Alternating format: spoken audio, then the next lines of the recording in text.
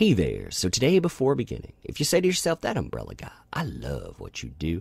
I love your channel. In fact, maybe I want you to forward all videos and quote unquote harassment to your lawyer so your channel it doesn't feel left out. Man, you're a nice person. Make sure that you sub. Make sure you hit that bell for daily notifications. And if you want to go further, if you want to check out the links in the description below, because hey, those help out channels will definitely do that. More on that stuff at the end of the video. So today I want to return return to the wonderful world of voice actors. And this, it has been something that we've been talking about for a while. But this freight train, it is definitely building up steam. What we're getting closer to is litigation. You can see it, you can see all of the signs out there, and you can also see the changes within the tide of conversation where people have gone out and gone from smug and gone from condescending to saying, well, I'm definitely not going to be talking about this stuff anymore. Amazing, isn't it? You know, maybe when you go out and maybe when you're saying that you're going to uh, heft claims at someone, saying, I know what you did and on, maybe, just maybe, you need to think about the ramifications of it. That's why this conversation is important, too. If you go and you look at what's happened with the uh, voice actor Vic Mignogna, if you see exactly how his career has been dragged down bit by bit and how his reputation has been dragged through the mud, you know, and basically his occupation has been destroyed because of this stuff, you understand why exactly there needs to be some type of ramification to this. You look at this too, and we're going to look at a couple of statements that came before this, but if you look at this statement too, it's still very obstinate. It's still telling you that, of course, you're wrong about stuff. In fact, you having opinions or talking talking about it. That's harassment and any video that's thrown out there is going to be forwarded to an attorney, you know, because anything you throw out there on Twitter definitely isn't public use, right? More on that in a minute, too. So here we have Ron Toye, somebody who has said a lot about Vic Mignogna, now saying, This is going to be my last post. Huh. Maybe you should have come to that conclusion two months ago. Plus, maybe that would have been the smart move. In fact, people like Rekieta Law have been saying, hey, maybe you need to shut up. Maybe you need to go out and get a lawyer. But of course, you've known more about the law than anyone related to the law, right? I will state for the last time, I have zero concern to go to court. I welcome it. Huh. Well, I wonder if you'll feel that way when you actually have to stand up there and say, hey, you know those things I've been saying? Well, actually, I'm not directly connected to it. I just listened and I just believed. Also, while I'm doing that, well, you know that guy out there, Neil Kaplan, that friend of mine that was accused of the same things? Well, I stand with that guy. You know, posts that I've thrown out to him, those are different, you know, because he's my buddy and there was only one accusation, wherein I said there were hundreds, if not thousands, against that Vic guy. Huh. All videos and harassment will be forwarded to my attorney, Casey S. Erick at Kessler Collins. Huh, wait, so you picked up an attorney. But I thought we weren't going to court. I thought we would never get that far. We haven't been served or summoned yet huh, you can feel the inevitability in that. Man, that's probably a very strained smiley face, too. Oh man, look who's uh, liking on that, by the way. You see the same people throwing in, the same people in denial. Man, denial must be one heck of a zip code, because there are a lot of people living there. Something else that I find fascinating with these statements, too all videos and harassment will be forwarded to my attorney. You know, because they told you that any anyone that annoys them in any way, shape, or form, that's harassment. And videos, well, you can't make them about subjects. Only when you go out and you look at terms of service. You know, for places like Twitter, this is Twitter, so here's this this uh, terms of service for that. You can see the basics here by submitting, posting, or displaying content, or through the service, you grant us worldwide, non-exclusive, royalty-free license to use, copy, reproduce, uh, process adapt, modify, publish, transmit, display, and distribute such content in any and all media or distribution methods not known or later developed. Then we get into the beautiful part right here. The license authorizes us to make your content available to the rest of the world and to let others do the same. Hey, wait a minute. So you mean that people out there can actually use your own words, talk about your own words, and decide when they're discussing something what exactly that entails? You got it. Because you know what? You going and posting out in public, you utilizing social media, you know, and utilizing it in a fashion like we've seen, ah, anybody can talk about it. And well, what you've been doing there, it's been quite ugly, in fat. Now, if we go back and we look at all of the statements that actually uh, include ideas like summon or court, you can see the search up here. You can look back and see exactly how this conversation has changed. You know, we went from hearing about how this was in a court of law, this, it involved HR. I would suggest going back to your sixth grade teacher and asking him that. Would you like this to go to court? Him to be found guilty and then end up in jail or as a registered sex offender, I bet he doesn't want this to go there. You see exactly what's said about him at that time. You also see the fact that these people, they never imagined it going to that level because they thought that guy, he would just roll over and he would play dead because so many people have done that.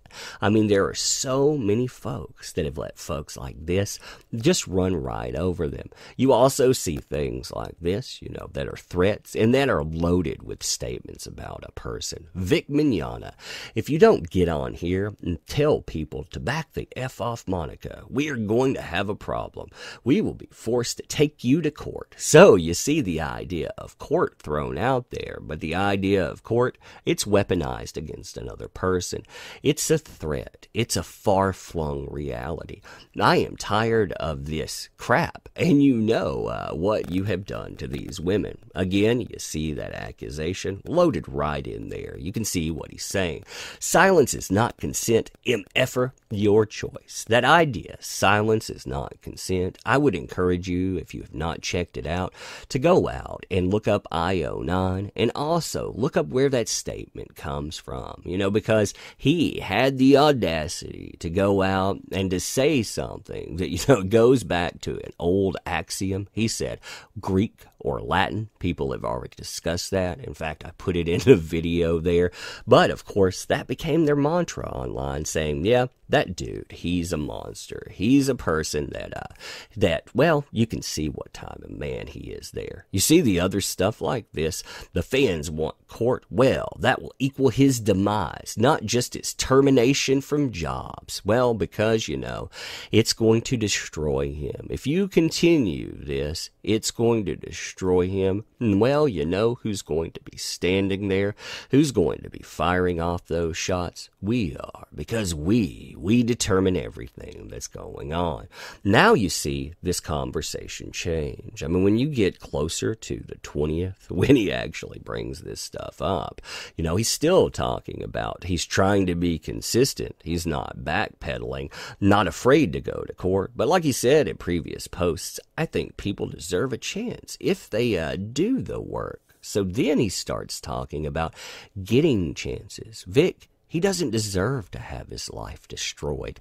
You see in About Face, he starts talking about conventions. He starts talking about the guy deserving working on because you know when you're talking about that kind of stuff, yeah, you better say that you're not trying to destroy a life and livelihood. The only problem is that everything that you did out there, it doesn't work to that. It doesn't work to that at all.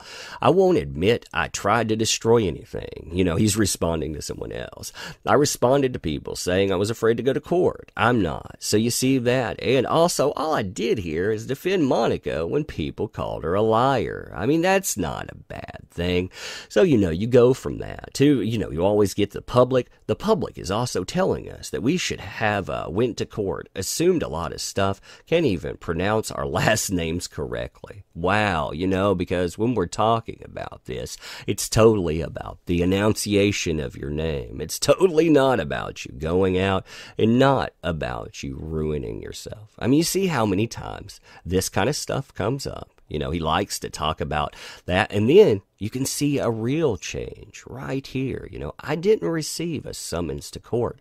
I did get a letter requesting to not delete anything pertaining to him, talking about Vic, and I'm happy to comply.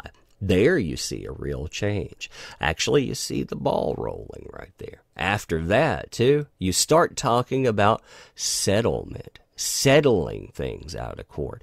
This, it seems like a message that is pertaining to things. And I thought that this, this was probably one of the more telling items before we see lawyering up.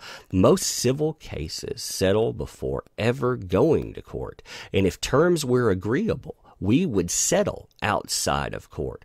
No one wants to go to court, but we are not afraid to go to court. Again, we never wanted or attempted to destroy anyone. Huh.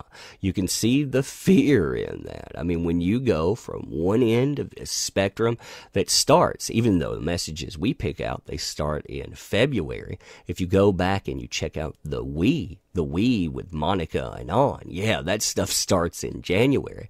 As you watch it move forward, you see this rolling forward to the we would settle outside of court if you can give us terms that are agreeable to ourselves. Huh, but I thought you didn't need those because I thought you didn't do anything wrong. Maybe you're seeing again the writing on the wall. Just like you know, you never needed a lawyer. You never needed anyone to tell you about the law because you never thought you would have to shut up about this stuff. Huh, just like that. Reality, it comes in and it crashes in like a tide. And well, that tide, it sweeps away again all the obstinance, all of the ugly ugliness that you see.